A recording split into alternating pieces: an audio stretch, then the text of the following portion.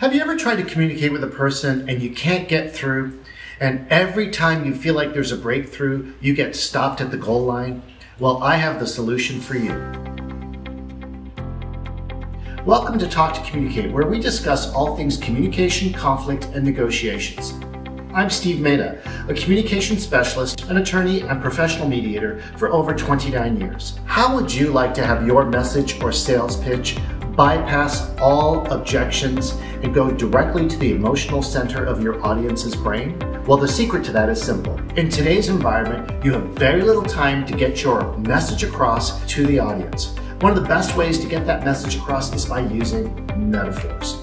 In fact, using metaphors bypasses much of the objections that you might normally get by using other methods of persuasion. Well, first, what is a metaphor? A metaphor is a form of analogy that compares the known to the unknown. It provides a sensory and learning tool to teach abstract and new concepts quickly.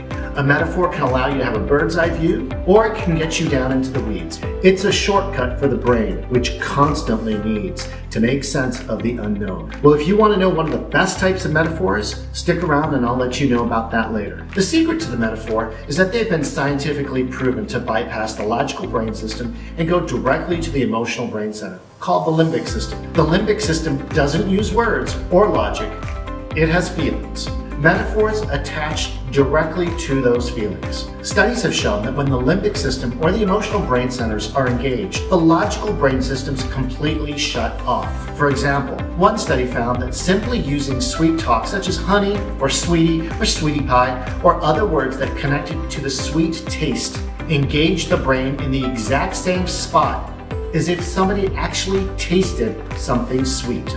Another study found that referring to criminal defendants using terms that are animalistic leads towards juries wanting to retaliate more against those criminal defendants. You can see how powerful those metaphors are. Another way that metaphors are powerful is that they are shared between the speaker and the audience. People of different backgrounds can share a common feeling by using a simple metaphor. For example, if I want to talk to a person about a political change, I might discuss how changing up the quarterback can be one of the best solutions for a winning team.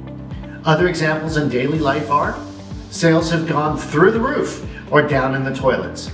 A real estate developer might claim that he is moving the chains forward, using a football metaphor. In the movie Four Christmases, Reese Witherspoon is in a relationship with Vince Vaughn and explains that she took a pregnancy test. And immediately, Vince Vaughn replies, did you pull the goalie? Well, now that you know the power of metaphors, let's figure some of the circumstances that you can use them. A few examples are one, to soften criticism. For example, a team didn't get the sale and was outdone by a more experienced sales team at another competitor. You could say, you're the junior varsity team that went up against the varsity team and you probably weren't going to win that game anyway. Or you're criticizing a person for messing up twice. You could say, I understand that you think it was a mistake, but lightning doesn't normally strike twice in the same place. A second way to use a metaphor is to persuade. You need someone to change and forget the past and start focusing on the future. You might say, you can't keep driving your car by looking through the rearview mirror. Another way a metaphor is helpful is it can explain a complex topic. For example, as a mediator, I have to explain how difficult a lawsuit can be on participants and that it may not end for years. I might say this is going to be a marathon, and when you think that marathon is finished, you may have to run a triathlon. The metaphor allows you to get the message across without making it personal to the other person. By the way, if you were wondering about the most powerful metaphors, well, they involve sports and movies. Most people have a connection to either sports or movies, and you're probably able to develop a shared experience pretty quickly. Well, if you want to learn more about how metaphors can help you communicate, look below for some of the links to books and research on the topic. Make sure to subscribe, and if you're interested in seeing more about communication strategies, click the videos above right here. We'll see you soon.